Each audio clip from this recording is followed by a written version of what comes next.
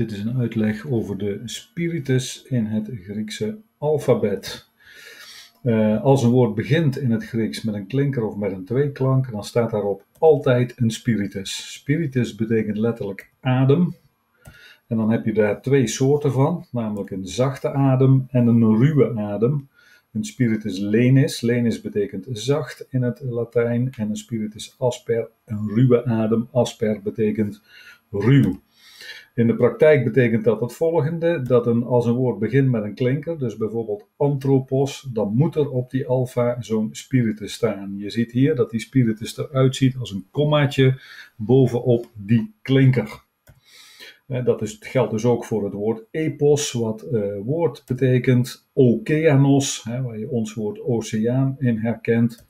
Als een, spiritus lenus wordt dus niet uitgesproken, maar moet er wel op staan. Je moet hem ook zelf schrijven.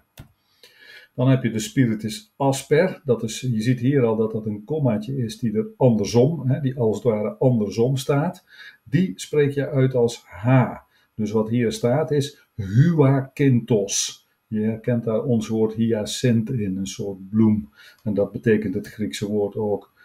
Uh, hier staat horizon. Ons Griekse woord horizon uh, komt er, uh, nee, ons woord horizon komt er vandaan. En spiritus asper ziet er dus uit als een omgekeerde komma, een komma in spiegelbeeld, en wordt uitgesproken als een H aan het begin van een woord. Dan hebben we hier nog wat voorbeelden. Als een woord begint met een hoofdletter, zoals Hera, dat is een Griekse godin, dan schrijf je die spiritus niet op die hoofdletter, maar ervoor.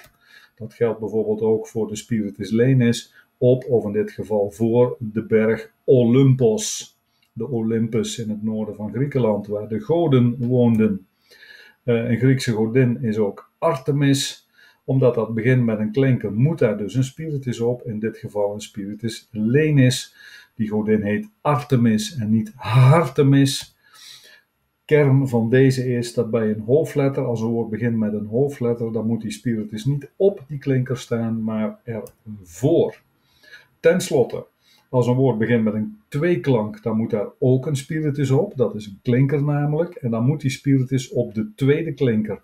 Dus altijd op de upsilon of op de jota. Eerste woord staat autos. Autos betekent zelf in het Grieks. Een automobiel is een uh, voertuig wat zelf rijdt. Een Griekse held is Ajax. De, uh, een bekende voetbalclub in Amsterdam is ernaar genoemd. Ajax hè, begint met een, niet met een H. Dus dan moet, uh, dan, je spreekt hem niet uit, maar die spiritus moet er wel staan. En op de tweede tweede letter van de tweeklank. Hier vat ik dat nog eens samen. Bij een tweeklank schrijf je de spiritus op de tweede klinker. Uh, op een woord dat begint met een ro, dus met een R-klank in het Grieks, staat altijd verplicht een spiritus asper. Hierboven zie je in Griekse woorden beginnen dus altijd met RH en nooit alleen met een R. Een ropalon, dat is een uh, knots, een knuppel. Uh, dan moet dus een spiritus asper op. Hij is lastig uit te spreken. Rohopalon.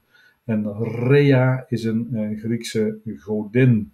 En daar moet dus ook een spiritus asper op. Omdat Rea met een hoofdletter begint, moet die spiritus ervoor.